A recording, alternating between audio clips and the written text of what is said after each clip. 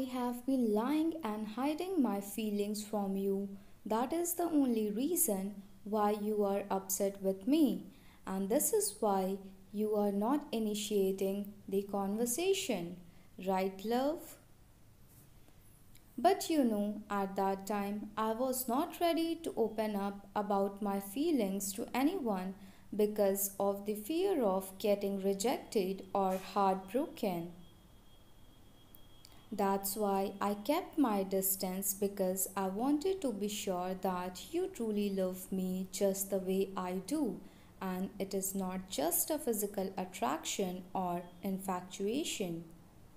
My heart only knows what and who you are for me, no matter what everyone around me thinks about our connection.